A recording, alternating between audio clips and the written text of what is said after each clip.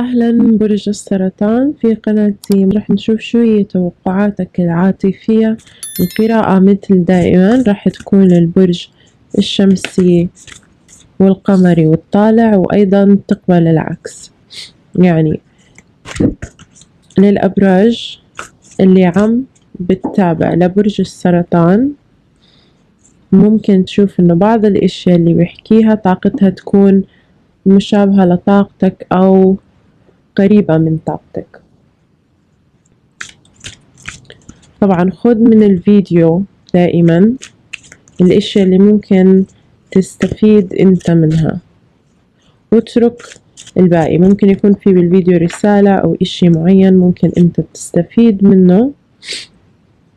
فخذ هاد واترك الأشياء الأخرى. راح نبلش بطاقتك أول. بعدين راح نشوف طاقة الشريك. خطواتكم في المستقبل. وشو راح يكون مصير العلاقة بينكم. طيب راح نبلش بكروت النصيحة أول لبرج السرطان. بدك أنت حاليا عم تمر بموقف أو وضع بدك تكون صبور أكتر مع الموقف. أو بدك تكون صبور أكتر مع الشخص اللي أنت عم تتعامل معه. أيضا برج السرطان أنت بتخبي مشاعرك واللي بتحسه كتير. فبكروت النصيحة بتحكي لك إنه خليك أوثنتك خليك آه مثل ما أنت حاول إنه تظهر مشاعرك الحقيقية لهالشخص لأنه ممكن الشخص اللي عم تتعامل معه يكون مش سريع بلقط الإشارات منك أو بفهم التلميحات اللي بتعطيله في عندك آه بدك تحاول تكون منصف أكتر مع الوضع. لأنه في عندك six of abundance six of emotion. رقم ستة عادة بيكون بيحكي على آه، التوازن بالتاروت. ف بالنسبة لكروت النصيحة بتحكي لك إنه الأفضل إنه تخلي الوضع في آه، شوي توازن. حاول تفهم منظور الشخص الآخر للعلاقة أو فكرة الشخص الآخر للعلاقة. ومش كتير بس تركز على انت شو بتحس ومشاعرك انت وبشو انت انجرحت. بدون ما يكون في عندك مفهوم إلا نظرة الشخص الآخر. يعني حاول تحط آه، حالك في مطرح الشخص الآخر. طيب آه عم شوفك أيضا رافض فكرة الحب حاليا. أو مش عم تسمح لشخص في عنده عروض حب أو بده يقدم لك عروض حب مش عم تسمح لهالشخص بالاقتراب. والسبب إنه أنت عم تبحث على إشي جدي. ما, ما عم شوفك عم تبحث على إشي عابر لأنه أنت بتطمح إلى soul connection إلى آه، رابطة تكون قوية. بشوفك كتير مركز على الوضع العاطفي ولكن محبط من الوضع العاطفي اللي أنت فيه. لأنه four of cups تحكي عن rejection أو رفض لإشي معين. فممكن تحس إنه أنت مرفوض من الناحية العاطفية.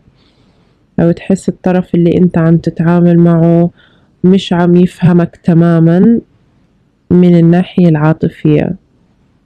ممكن أيضا تكون عم تتعامل مع برج هوائي برج ناري أو برج آه، الميزان برج الجوزاء أيضا عندك. غير هيك ممكن يكون أي برج تاني ولكن الطاقة آه، طاقة الحبيب أو طاقة الشريك شوي متهورة. الشخص اللي أنت عم تتعامل معه شخص متسرع. شخص أيضا إذا كان برج ناري الشخص اللي عم تتعامل معه عم شوفه متسرع كتير بالحكي. آه ما بيفكر قبل ما بيحكي.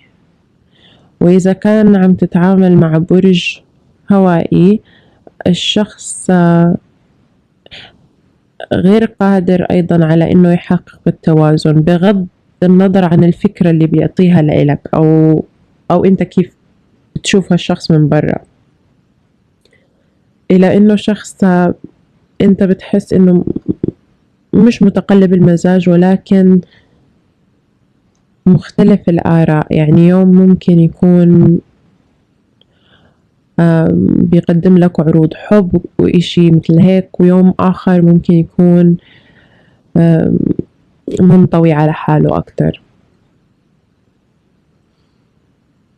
فأنت عم تشوف إنه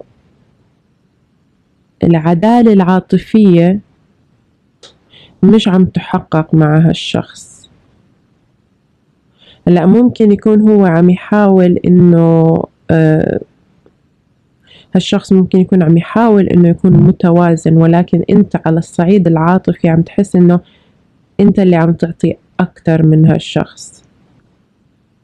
أو أنت عندك مشاعر تعطيها أكتر من هالشخص. بالنسبة لخطوتك في المستقبل عم شوفك عم عم تحاول في عندك كتير ستات وفي عندك justice card the lovers في عندك آه كتير كروت بترمز إلى إنه أنت عم تبحث عن التوازن.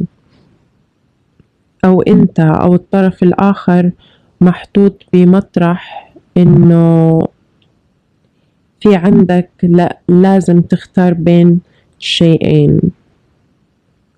وعم شوف انتو طاقتكم المشتركة حاليا عم تح... الأمور بينكم stagnant أو متوقفة أو ما في حكي ما في حركة بالعلاقة ما في انرجي أو طاقة عم تتحرك. انت خطوتك بالمستقبل عم شوفك بدك بداية جديدة. ممكن تكون مع هالشخص ممكن تكون بداية فقط جديدة مع شخص آخر أو حتى سينجل أو حتى ما بدك تفوت بعلاقة. للبعض منكم. لأنه أنت عم تبحث عن ال عم تبحث عن التمبرنس عم تبحث عن الشفاء عم تبحث إنك تداوي حالك وتشافي حالك. من من الموقف اللي أنت فيه. عم تبحث أيضا على علاقة يكون فيها توازن بالأخذ والعطاء. ولكن عم شوفك آه، بالمستقبل طاقتك كتير مختلفة عن بداية القراءة عن طاقتك الحالية. حاليا أنت ممكن تكون آه، بوضع شوي محبط عاطفيا ولكن في المستقبل في عندك optimism أو عندك تفاؤل أكتر. أو نظرتك رح تكون إيجابية أكتر. فحتى ممكن تمر بمرحلة مثل التنوير بحياتك أو بالفترة القادمة رح تمر بمرحلة من التنوير. عم شوفك أيضا عم تحاول تاخد الأمور ببساطة بالمستقبل. رح تحاول تكون آه دبلوماسي أكتر أو تتفهم آه وضع الطرف الآخر أكتر. أيضا عم شوفك يعني عم تتركها تيجي مثل ما تيجي. بالنسبة لخطوات حبيبك بالمستقبل حبيبك في عنده شغل كتير أو الشخص اللي عم تتعامل معه في عنده شغل كتير سول uh, وورك أو شغل روحاني على حاله لأنه هالشخص متناقض جدا ب بنفسه من جوا متناقض. عم يمر بكونفليكت أو عم يمر بصراع داخلي ومشان هيك بيعكس على العلاقة. بتصرفاته معك. لأنه هو عم يحاول يجمع آه، أكبر قدر من من المعلومات اللي ممكن تساعده في اختيار قرار يكون عادل. هالشخص ما بيحب الوضع اللي هو فيه حاليا. هو يعني مش مش نيته إنه يكون متقلب المزاج ولكن هو من جوا بيحتاج إلى الشغل بيحتاج إلى جلسة مع الذات مثل ما بنحكي لحتى يفهم هو وضعه شو هو شو بيريد. ولحتى يعرف يحل الصراع الداخلي اللي هو عم يمر فيه. مشان ما يعكس هالإشي على العلاقة. ولكن عم شوفكم أنتو في المستقبل. يعني عم شوف انت الشخص اللي مشاعرك أكبر بالعلاقة من هو. هو آه، شخص ممكن يكون بالغالبية برجه هوائي لأنه آه، شخص بيحب يحلل الأمور بطريقة منطقية ممكن تكون منطقية زيادة عن اللزوم أو أكتر مما برج السرطان بيحب.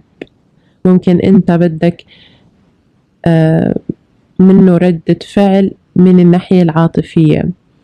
عم شوف أغلب كروتك عاطفية وأغلب كروته منتل أو عقلية. فهالشخص عادة آه، بيقترب للأمور بطريقة تحليلية وكأنه يعني عم يحل مسألة أو عم يحاول يفهم آه، مشكلة أو شي معين. بعكسك أنت أنت قراراتك اللي بتاخدها بتكون مبنية على عواطف على أنت شو بتحس من جوا.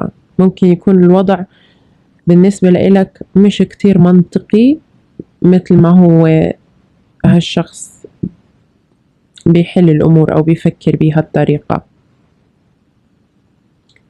عم شوف أيضا آه، طاقتكم المشتركة فيه رح يكون في هدوء بينكم مش رح يكون في حكي كتير.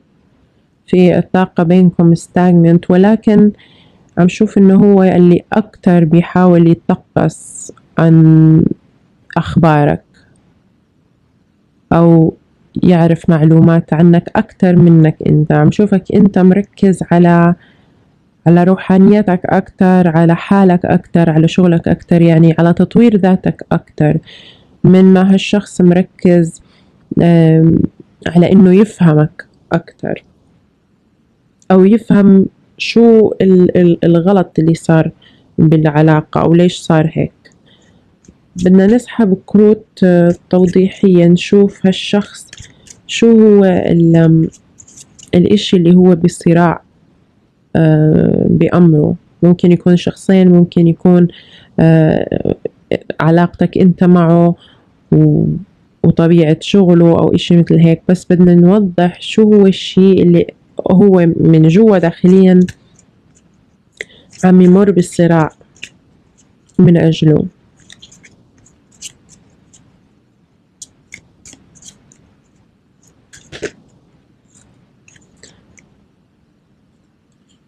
طيب فهالشخص حاليا بفترة أو بده يدخل بفترة هدنة أو عم يبحث على نوع من الخلع أو العزلة لحتى يفهم وضعه أكتر. ولكن الشخص آه الشخص هيدا متناقض بجوا حاله أو الشي اللي هو يعني مضايقه أو مش عارف يوجد له الحل هو إنه عم بعتقد هالشخص ما بيعرف يتصرف مع مشاعره. أو عم يحاول يحلل مشاعره أو يوجد تفسير منطقي للمشاعر اللي هو بيحس فيها. فبالغالبية البرج اللي أنت عم تتعامل معه برج هوائي لأنه يعني المشاعر عادة ما بتتحلل ما بتنفهم هي بتنحس فقط.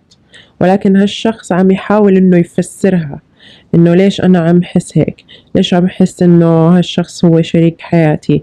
هالشخص هو سول ميت آه ليش أنا بدي أقدم لهالشخص عرض حب؟ ولكن يعني مسبب له صراع داخلي أكتر من ما هو خارجي. آه هالشخص عنده صعوبة جدا بالتعبير عن شو هو بيحس.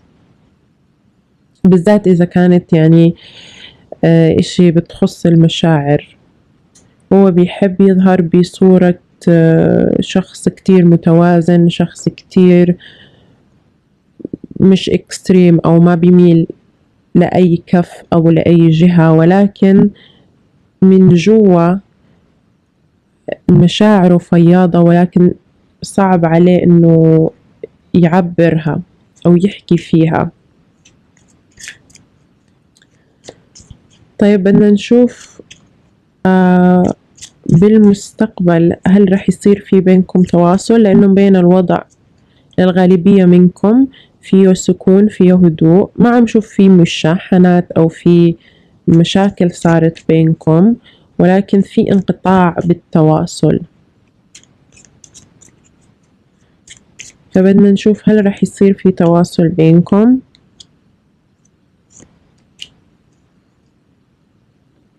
آه أنتوا الاثنين بالمستقبل رح توصلوا إلى في عندكم شغل رح يصير بالمستقبل شغل بالعلاقة أو بالاستمرارية العلاقة بارتباط بالعلاقة. عم شوف أيضا آه، في طرف منكم إذا كان في بينكم صراع على السلطة بالسابق في طرف منكم هو اللي رح ياخد آه، زمام الأمور بالعلاقة. ما بعرف مين رح يكون الطرف ولكن في طرف رح ياخد هو زمام الأمور بالعلاقة. وعم شوف في مجهود رح ينحط كتير عالي وبرغم إنه آه، هالكرت بيرمز أحيانا عن مجهود بنحط ولكن ما بيعود بالنتيجة اللي أنت بدك إياها. ولكن المجهود اللي رح ينحط يعني الوضع هون بالمستقبل بيحكي إنه بيتطلب منكم آه، صبر كتير عالي. إذا إنتوا الاثنين عم تطمحوا إلى تحقيق آه، أسرة أو إلى تحقيق أساسات صالحة بحق هالعلاقة أو إشي آه، مستديم إلى المستقبل سواء كان علاقة جدية سواء كان خطوبة سواء كان زواج. ولكن عم شوف إنه بالمستقبل النظرة بينكم متمركزة أكتر على الصورة الأكبر للعلاقة مش على التفاصيل آه، الصغيرة اللي عم بتصير. ولكن هي على الصورة الأكبر. بالمستقبل في شغل كتير بينكم لازم يصير. عم شوف إنه في مجهود عالي بده يصير من الطرفين لأنه هالطاقة طاقة مشتركة بينكم. من الطرفين في مجهود عالي لازم يصير ولكن مثل أي علاقة يعني إنك تبدأ علاقة شي وإنك تخلي العلاقة تدوم شي آخر. فأي علاقة أنت بتطمح إلى إنه تخليها إلى المدى البعيد أو إلى إنك تكون مستقبل مع هالشخص لازم يكون فيها آه، مجهود. ما بتكون عادة سموث أو الطريق ما بيكون عادة سهل. ولكن كلا الطرفين هون مستعد لأنه يحط آه، مجهود في العلاقة.